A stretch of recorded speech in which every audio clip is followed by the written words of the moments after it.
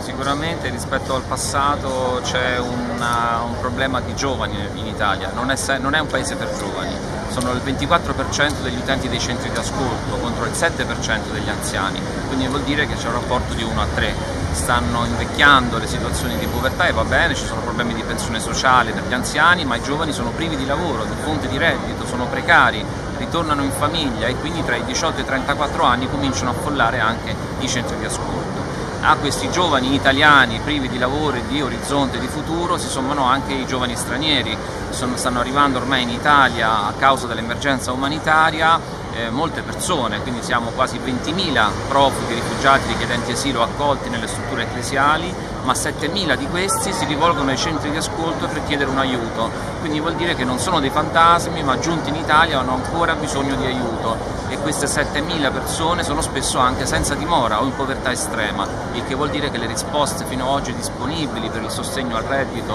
di queste persone in fuga dalla guerra sono sicuramente insufficienti. Quindi non basta la crescita del PIL per risolvere il problema della povertà in Italia e della crisi economica. Certamente questo è un dato che non legge le situazioni complesse della povertà, non legge la filigrana, l'infrastruttura delle relazioni sociali, c'è una povertà di capitale sociale, di relazioni, di welfare, si sta andando forse nella direzione giusta adesso con un sostegno per l'inclusione attiva che aiuta le famiglie con figli minorenni però noi abbiamo visto che gran parte della povertà riguarda giovani 18-34 o rifugiati richiedenti asilo e sono due categorie non coperte dall'attuale sistema di welfare. Stiamo tornando un po' a una situazione eh, simile a quella precedente alla crisi economica. Prima della crisi economica tradizionalmente erano più gli stranieri che si rivolgevano alla Caritas e meno gli italiani e così anche nel sud più italiani invece che stranieri.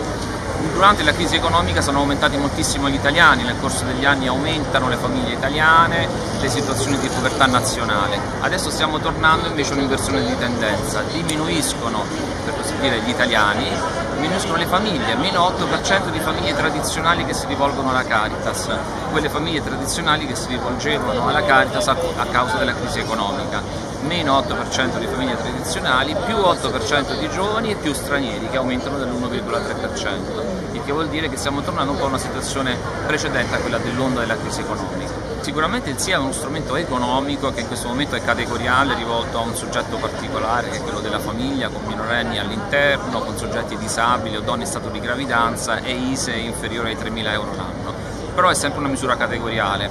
non sarebbe stato male partire da un approccio più generalistico, cioè tutti coloro sotto una soglia di povertà assoluta a prescindere dalle categorie. Comunque un passo in avanti importante bisognerà estenderlo nel tempo e includere questa misura attraverso opportuni correttivi in un piano nazionale di lotta alla povertà che è quello verso cui Caritas Italiana spinge e che cercheremo di monitorare nel corso degli anni come verrà estesa sia la misura economica che il piano.